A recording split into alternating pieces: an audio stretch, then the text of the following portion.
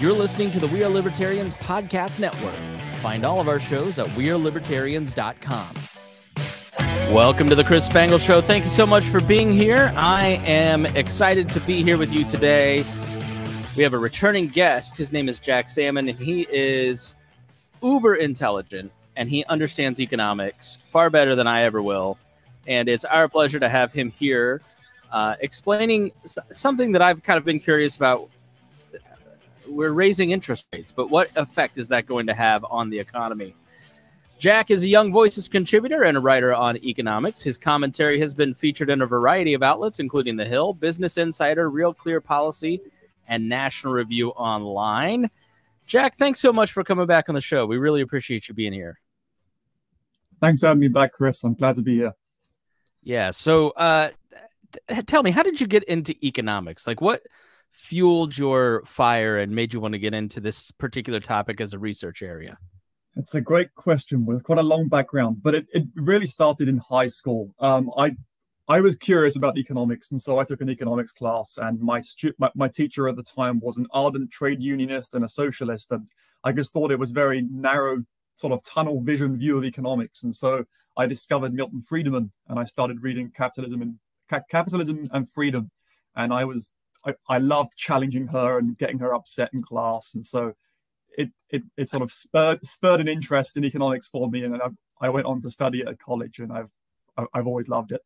That is very similar to me and a poli poli sci professor I had in college during the Iraq lead up. I was a I was a good little bushy back in 2004. But that seems to be like a, um, a common theme amongst libertarians and conservatives and people who kind of are of a free market mindset of like, you know what, I went to college and then they just said a bunch of stuff that didn't make sense, and I really just needed to disagree with them, and I didn't know how, so I went and looked it up. Do you find that's, that to be like a common thing amongst uh, other people that you talk to? It is, and I've I, have i have heard it quite a lot in my circles that people felt disheartened when they were in college, or they they they felt that they had been singled out because they felt that they thought in a slightly different way, and I think that just pushes people further towards um, sort of opposing ideas of central planning and top down organization, which is a great thing. Absolutely. I think being sort of having a gut feeling this isn't right and going back and looking it up is a, a great great training ground. So you had a an article in National Review that caught my eye on Halloween, a very spooky article about it's titled How a Decade of Low Interest Rates Fueled Reckless Government Spending. Now, I don't know a ton about interest rates. So let's start there. Like define what an interest rate and when I see there's a 7 point or 3 point increase in the interest rate, what does that mean? So there's there's two different types of interest rates we, we can talk about here. There's the interest rates that um, are the federal funds interest rate. So that's the interest rates that the Federal Reserve sets um, on its on its reserves. But those those rates will actually have an impact on on all interest rates, whether it's private, so it could be um, loans that you have, it could be credit cards, could be um, mortgages, car loans, but also um, the public sector. So it affects the government's finances. The government, um, as it rolls over its debt, it, it, it goes into either lower interest rates or higher interest rates, depending on wh- which direction they're heading in. And um, the issue we have now is is is that we've been in a situation of sort of artificially low interest rates for really over a decade since the great financial crisis. And so policymakers have been in this mindset that we're always going to have low and steady interest rates. And so the future is very predictable. And because of this, they continually continuously racked up larger and larger debts because they could just roll over the the newly maturing debt into low in, in, into low interest rate debt, and so the cycle continues. The issue there is we now ended up with a, a huge debt, most of which has very short term maturities. What I mean by maturities is when the Treasury rolls over its debt, it can either choose to to buy um, long term debt, so debt that it won't have to pay back for 30 years, but the interest rate would be higher because it's longer term. Or they could choose to roll it over into short term debt which could be a year, two years, three years, and the interest rate would be much lower. So it's much cheaper to do that. So because rates have been so low for so long, they they rolled most of our debt into short-term maturities. So we're now in a situation where 50% of our debt matures in three years or less. 30% of our debt, now that, that's $24 trillion. 30% of that $24 trillion matures in the next year, in the next 365 days. Now, that is a problem when interest rates have gone from effectively zero to about 3 4% where they are now. We're talking about trillions of dollars. And so financing uh, so, that is going to So I'm guessing they're going to roll that into something else. They're not obviously going to be able to pay that, let alone pay it. So do they then roll that into more short term? But you're saying the problem is that it goes from, you know, I, I really think maybe my entire adult life, the interest rate at the Fed has been around zero from, you know, when I graduated during 9 11 to now. Uh, so they just keep rolling that over. Do they keep rolling that into short term? What consequences does that maturation have? Maybe the first question, let me ask you. So when they when they buy these bonds, is it treasury bonds or what how do they what do they actually buy to float the debt? So these are treasury bonds. Um, and and there there are all kinds of buyers of treasury bonds. Um, international central banks buy US treasury bonds. Um, the Federal Reserve buys treasury bonds. Investors buy treasury bo- treasury bonds. If you're an investor and and you you own a, a bond fund, it probably has treasuries in there somewhere. Uh, pension funds will buy will buy treasury bonds. So they're they're really sort of a liquid asset that, that floats around the market. But um, they they will roll they, they they would roll over into short term treasury bonds typically when interest rates go higher. But what we've seen this year in particular is interest rates spiking across the board. The, the issue is the shorter term treasury bonds are more sensitive to changes in the Federal Reserve interest rate.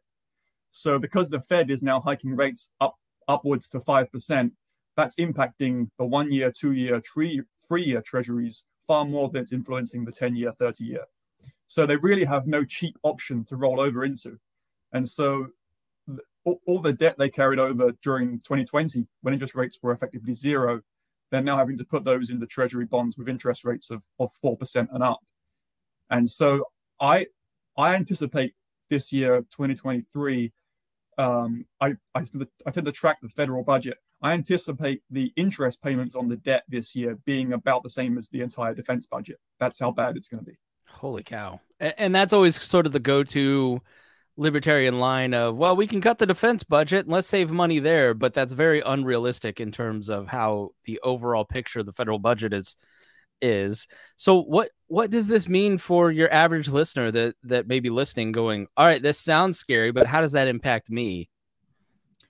Well, on the in the private sector, it, it means that private loans are also going to be suffering from higher interest rates. So if you have credit card debt, it's going to affect you. If you have a mortgage, it's going to affect you. If you uh, if, if, you're planning to buy a new house, sorry, I should say, it's going to affect you. Car loans, um, it's going to affect you. But on the public sector side, the the effect of of, of increasingly costly debt, it, it means that capital is going to be crowded out. So th- there are only a limited number of investors in the marketplace. They either they either choose to invest in private companies or they buy government bonds. Now, because the interest rates are going up, people are seeing government bonds as being a more attractive investment. I know if you've heard of uh, I savings bonds. It's just one of the, the treasury bonds that, that the, the, treasury um, issues, but um, they've been offering 9% interest rates. So people are not investing in companies. They're not investing in in the private sector because of this these huge spikes in interest rates. That means that there's less business growth. It means there's less jobs available. It means there's going to be less wage growth in the foreseeable future. So it's it's going to start hurting people in those terms. Um, so there's that effect on the private sector, but then the the issue from the public from the public sector perspective is it's going to worsen deficits. It's it's going to worsen de- debt sustainability, which means it's going to increase pressures on government to do things like raise taxes. So that's it. it, it it's really it's it's a lose lose situation. Which then decreases the amount of money that there is to pay more in salaries and for further investments, which creates less job growth, which creates less private sector right, right. capitalization. So one of the big risks there is stagflation, which I think we we, we, we could be moving into a, an environment of stagflation in the next year or two. Can you explain what that is, and and talk about Japan? I'm I'm not an expert on Japan, but I I've heard Japan thrown around as an example both for and against more government spending. So I, I it's, it's one of those it's one of those anomalous countries that I'm always baffled by. But well, I, I mentioned that because they have famously been in stagflation, and I, I oh, uh, I'm about twenty percent through a book called uh, "The Lost Generation" about you know an entire generation of young people in Japan who just never had the same amount of economic opportunity as the high growth of the of the previous two generations. And it was largely due to the concept of stagflation. Now i should have just said please explain stagflation to me. So my apologies. No no it's fine. And uh, they used to call it the lost decade but J- japan really now it's, it's it's been three decades of essentially zero growth. Um, the government there has racked up such a large debt. I think the last time I looked, it's something like 260% of GDP is their total public debt. Ours is 100, and that's already problematic and it's causing issues. And they've also been living in this fantasy that they can keep rolling over the debt because of low interest rates. By some miracle, they haven't yet seen a spike in interest rates in the same way that we're currently seeing or that we saw in the 1970s and 80s. But that doesn't mean we should put all our eggs in one basket and follow suit. It, it, it's really quite terrible. And and what they've seen there is since since the, about the mid 90s, there's been effectively zero wage growth in Japan. Uh, there's been a, effectively cl- close to zero economic growth. It, they tend to cheer. Uh, Japanese government ministers cheer when they see one percent growth. So it's really quite a depressing sort of utopian situation to, to be looking at, and uh, it's, it's not something we should we should be looking towards mimicking here. Um, because I often hear some economists say, well, Japan's doing just fine. They have a huge debt and they seem to be doing fine. They're, they're definitely not doing very fine. You only have to speak to a young Japanese worker and you, will you, very quickly find out it's quite problematic. Uh, what, what, explain that. What do you hear?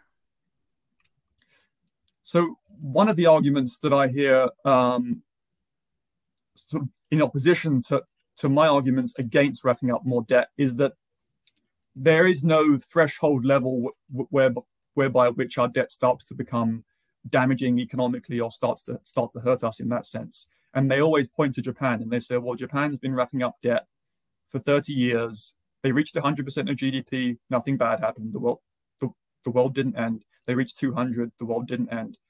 But what they're really talking about is they're talking about uh, the risk of a fiscal crisis, something like what we saw in Greece in 2010.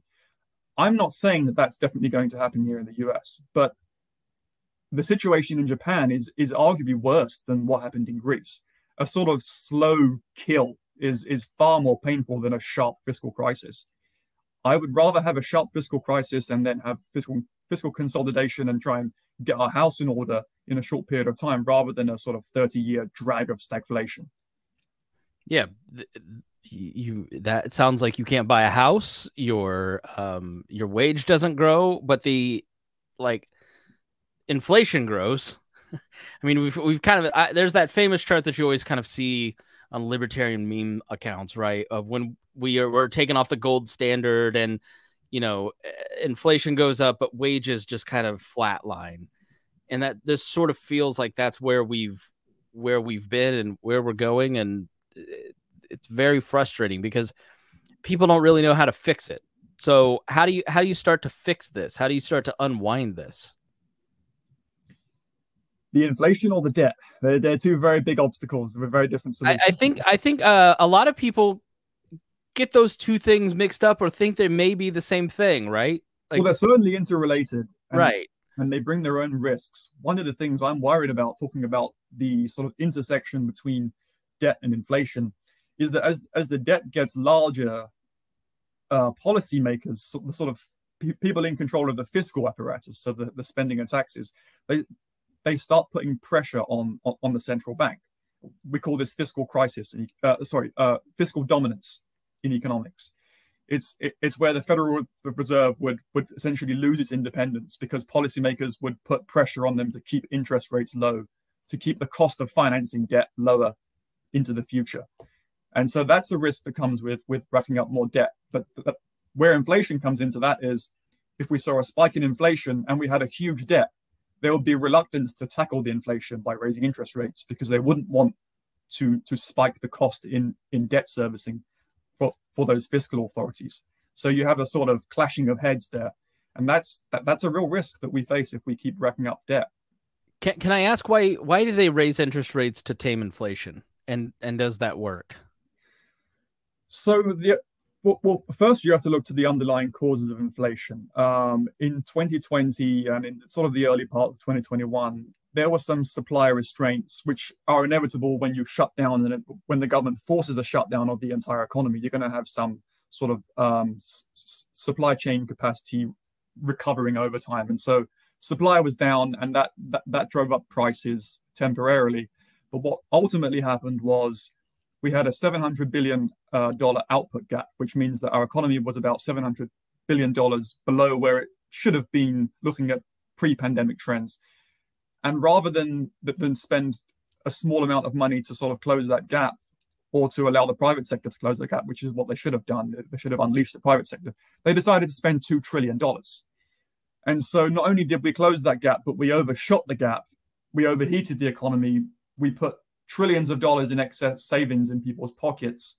And so it was, in the end, it was demand that really caused the inflation spike that we saw in 2021. And so where the Federal Reserve and, and the hiking interest rates comes into this is they have to raise the cost of, of, of consumption, of, of, of taking out credit, of, of spending to bring down inflation back to sort of sustainable levels. So to, in simple economic terms, to, to, to bring back demand to supply uh, to bring to bring it back to equilibrium. So yeah, can... it has to be more expensive for you to put things on a credit card, to buy a car on credit, to buy a house on credit, right. to to slow down the amount of spending in the economy, so it, it starts to dry some of that up.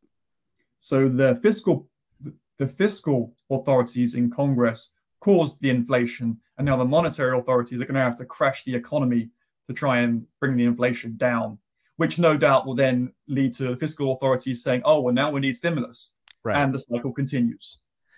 So I see that uh, a lot of people preparing for 2023 in an economic slowdown, a recession. Uh, you say crash the economy. I think that's a scary phrase for a lot of people who are, are, are kind of unaware of what's going on. How do you think the next year or two plays out economically for just your average person? Eh, start with the the macro and then work down to the micro. I guess is the way to ask it. Yeah, I I don't know that I can speak to sort of on the very micro individual level, but I suspect the soft landing that we keep hearing about is is kind of out of question at this point. Uh, I I don't see that happening.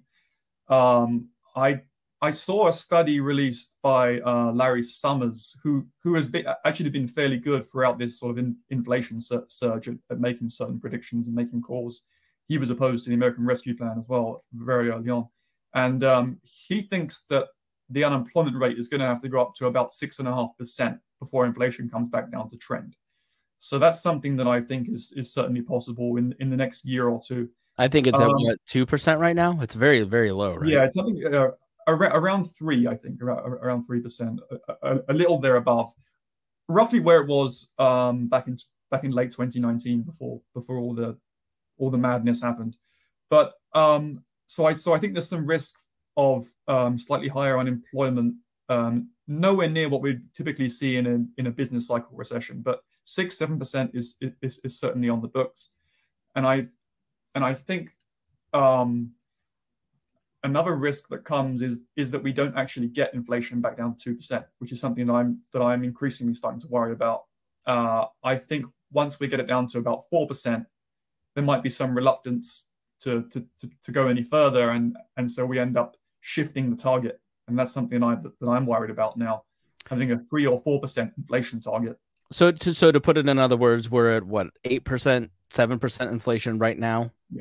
And that roughly, for anybody who doesn't understand, that roughly means in, inflation is is what is the amount of money that's in circulation, or the co overall cost. You could see it. So, so it's essentially uh, the easiest way to describe it. Is, Jack spends um, so much time thinking about this stuff that this is very difficult for to explain to him, who's someone who got a C in Mr. Early's economics. I can see it in his face, but I warned him ahead of time. This is Econ 101, buddy. um, so too much demand and too few goods is the simplest way to, to describe it. But you can also describe it in monetary terms. A monetarist inter- interpretation would be that um, you essentially print money and so you devalue the currency. And so it's the it, it's the amount of devaluation on an annual basis in the currency is sort of monetarist interpretation of it. And really for what 20 30 years we've had 2% inflation and it's been like setting your watch to it. And so why so many people are having trouble right now is in their industry they may they may see 15% inflation. And so they priced out 2% 2% 2% 15 oh man we're way underpriced. Raise the prices and so if we were just to stay at 4% inflation, what what does that do to the economy long term? So my my key fear with with raising the target is is is, is like you quite rightly said, since really since the the 70s, 80s, um, we've set 2% as the, as the target. And it's not just in the US, it's also in my home country of the UK, we have a 2% inflation target all over Europe. Um, pretty much every advanced economy in the world has a target either at 2% or somewhere between 1 and 3%. And so there's a, there's a fairly strong consensus. So this has um, anchored expectations. So every consumer sort of uh, is either aware that we typically have about 2% thereabouts inflation every year, or they just don't care because inflation is so low and so stable that it's not something that they worry about on the day-to-day basis because it's it's it's 2%, it's close to zero the problem with having 4% is it's far more visible. Um, it could unanchor people's expectations. And they may think, well, if they can if they can double the inflation target to 4%, why not five? Why not six? And so it creates a lot of uncertainty. Um, it, it, it, it shifts people's expectations. And I think that could create a lot of volatility within the economy. And I, I think that's a real risk that, that, that we shouldn't be posing. Uh, and consistency is like the key right? Like predictability, especially for businesses and for your household, right? You, you, when you go, I go to the grocery now for $150 worth of groceries and it's two $220, right? That that predictability is very um, dangerous. So, so I know it's very very unkind to ask for predictions, but hmm. um, you know when you say there's no soft landing do you think it looks like 2008 does it look like the great depression? Like i, I think give some give someone a sense of like you know work's going to slow down jobs are going to slow down it may be harder to find a job or dig up the silver start selling it now. I'm just kidding. Um, give it give us some idea of of what that means for a slowdown in the next year. So i don't think it's going to be anything like um, 2008 or something like that. That that was a, a fairly deep recession, and then we also had a very slow recovery. I, it's going to be something similar to what we saw in the early 80s. Um, not hopefully not quite to that extent.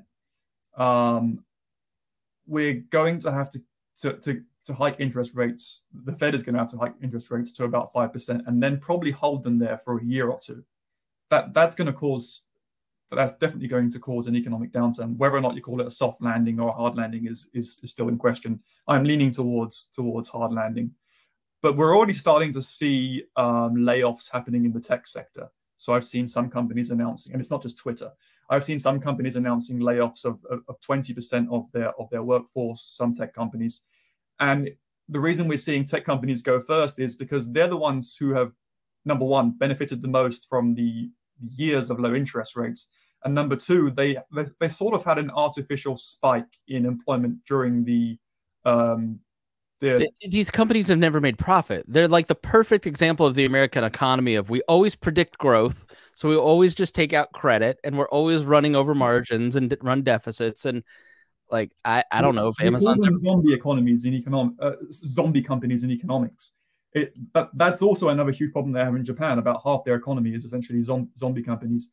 But the, the, the other reason tech companies um, are, the, are the first ones to start to see layoffs is they they saw an artificial um, bump during 2020 because of everybody going remote and all these companies suddenly needed to em- employ thousands of of IT workers and and and so it's those companies that sort of helped get people through those through those months when everybody was was was, was essentially at home most of the time whether it was um, delivery services or using Google Meets or whatever it was. So those companies really saw an artificial growth in their labor markets during that during that time, and that's now starting to come back down to reality, combined with the spike in interest rates. So I think we're going to see more, more, more layoffs in the non-tech sector as we move into 2023. But I, I don't think it's going to be as painful as previous recessions. This isn't a business cycle, uh, a, a typical business cycle recession. This is really a Fed-induced recession. And so I think it's slightly more manageable, but it's still it's not going to be. I don't think it's going to be a soft landing.